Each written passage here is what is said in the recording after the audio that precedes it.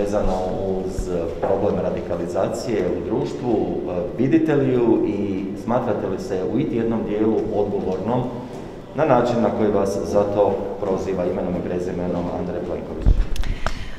Gospodin Andrej Plenković u nijednom trenutku nije rekao što točno bi bilo sporno u mojoj izjavi, niti je išta od toga uspio, niti može demantirati jer sva ova e, predstava, loša predstava za javnost ima jedan isključivi cilj i to na sreću građani Hrvatski vide, a to je skretanje pozornosti sa mega afera korupcije, e, bezobzirnog plačkanja hrvatskog naroda. Ali ja bih iskoristila priliku i reagirati na izjavu gradonačelnika Bjelovara, zastupnika Hrebaka. E, njegova izjava je čisti seksizam, on nema pravo nazivati bilo koju zastupnicu snjeguljicom, kao što meni ne pada na pamet da njega nazovem recimo patuljkom. Nadalje izgovorio je potpunu neistinu. Eh, ja se ne natječem, niti se mogu natjecati za lidera domovinskog pokreta, jer ja nisam član stranke. I on to vrlo dobro zna.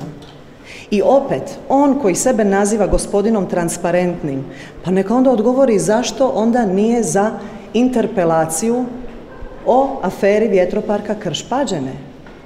Zašto sudjeluje u sustavnom radu sa svojim koalicijskim partnerima u zaštiti korupcije, u zaštiti tih korupcijskih afera i zašto sudjeluje u provođenju ovog kriminalnog, groznog ovršnog zakona koji nam sad opet prijeti sa, sa, sa prestankom moratorija.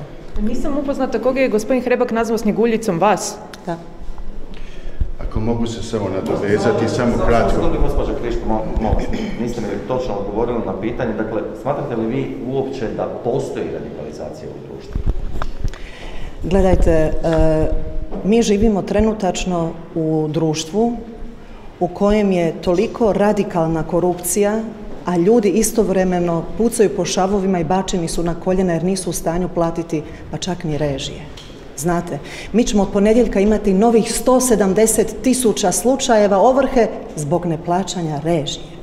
Ja smatram da je to radikalna situacija i da jedino što ovu radikalnu situaciju može izmijeniti jest razrješavanje tih korupcijskih afera, počevši od Agrokora, Janafa, pogodovanja raznim e, njihovim miljenicima, ovaj, tajkunima i da se taj novac vrati, jer to je, tu je riječ o milijardama kuna, znate. A bacati na koljena građane sa ovršnim zakonom gdje se plaćaju, ja ću to opet i stalno ću ponavljati, znate koje su cijene? Za 11.000 kuna duga u Njemačkoj plaćate 300 kuna ovrhe.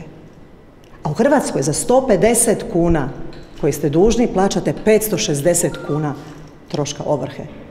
O tome treba razgovarati. Da, radikalizacija je apsolutno na vrhuncu, jer uvijek se događa radikalizacija društva kada je socijalna nepravda i kada se crpi i onako već nepravdi izloženi građani i kada se guraju na rub siromaštva. Uvijek dolazi do radikalizacije. Parlamentarne stranke sjesti s premijerom koje bi on okupio da bi se razgovaralo o svim problemima koje... Nisam vas nažalost razumjela još jedan. Treba li Andrej Plenković pozvati sve parlamentarne stranke i sjesti zajedno razgovarati o svim otvorenim stvarima koje jesu danas na stolu, pa uključujući i poruke i trebaju li svi predstavnici parlamentarnih stranaka, pozicije i opozicije, paziti kojom se retorikom služi e, kad mene pitate i osobno me pitate što mislim da e, gospodin Andrej Plenković treba napraviti, onda ću vam ja iskreno reći s obzirom na sve ove okolnosti, na sve afere, na kršenje Ustava, na kršenje e, zakona, ja mislim da gospodin Andrej Plenković treba odstupiti.